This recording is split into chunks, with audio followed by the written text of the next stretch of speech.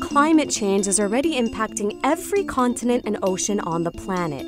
Hundreds of scientists and experts came to this conclusion in a new report for the United Nations. The report has taken five years to make and is part of the definitive study on climate change to date.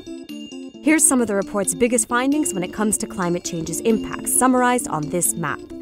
In the report, scientists use a scale to explain how confident they are about a given impact and whether it's caused by climate change, even when other factors like pollution play a role.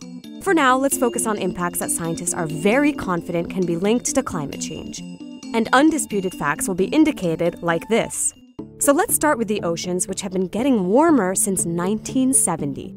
Scientists are highly confident the warming has been caused by greenhouse gases that humans have been pumping into the atmosphere the warming has massive consequences. One example in the Northeast Atlantic, fish, zooplankton, seabirds, and other species are moving towards the poles to escape the heat.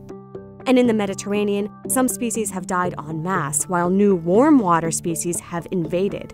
How does this affect people? Well, 90% of the people who work in fisheries come from the world's poorer countries and won't have jobs if fish move or disappear. No fish also means no food, especially for places like Central and Western Africa, Peru, Colombia, and elsewhere, which rely on the sea for food security. And it's not just sea life that's affected.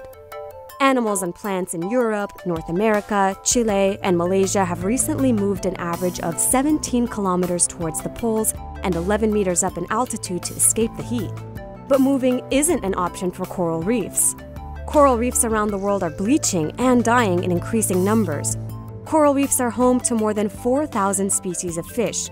The irreversible loss of reefs would impact 500 million people who rely on reef ecosystems for 5 billion US dollars a year. Finally, there's the Arctic. So many changes are happening in the Arctic that scientists say a regime shift is taking place there. The Arctic's permafrost is thawing, and shrubs are literally creeping upwards into areas where they couldn't grow before. Animals that rely on ice, like polar bears and seals, are being severely affected, especially in the warming summers. In turn, food security for the indigenous people who live in the Arctic is threatened. And that's just the tip of the iceberg as glaciers continue to melt worldwide because of climate change, raising sea levels. Pretty scary stuff, huh? So, is climate change already impacting you where you live? Let us know by commenting on this video and don't forget to subscribe to AJ Plus.